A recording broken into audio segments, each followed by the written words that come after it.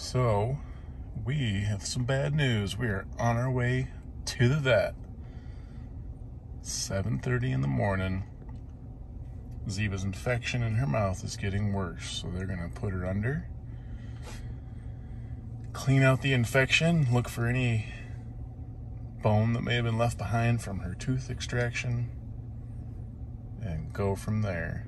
But the swelling in her face is not improving. Poor Ziva girl.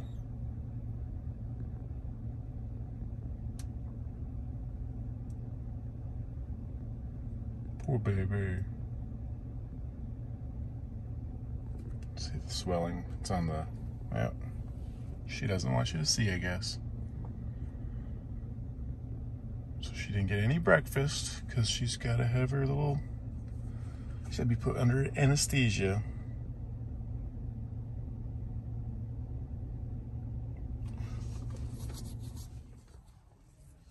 Well, we're at the vets, Ziva girl.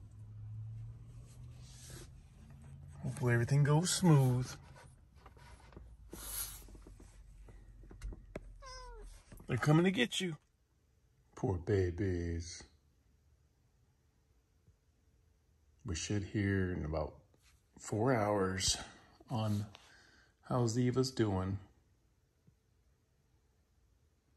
I'm not going to lie, we're a little worried this time. But maybe that's just what fur parents do, huh? You tilting your head at me?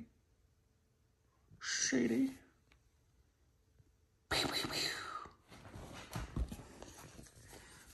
Oh, you're not in the mood to play?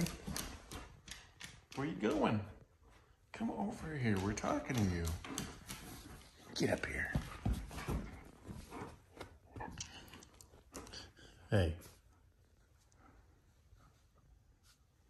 You worried about Ziva? No. Bet you're worried about that stick of joy, though, aren't you? All right, let's get our mind off it. Let's go throw it. First, you gotta say something, though. You know what you gotta say? Oh, wait. Kangaroo hop. Kangaroo hop. Good girl. Now say, Sadie's pack out. Well, you gotta do a lot of work, don't you? Say it. Sadie's pack out. We'll let you guys know about Ziva. Have a good day, right?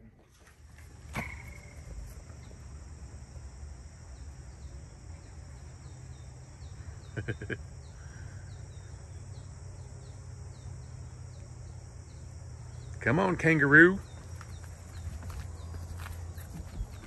Good girl. Good girl.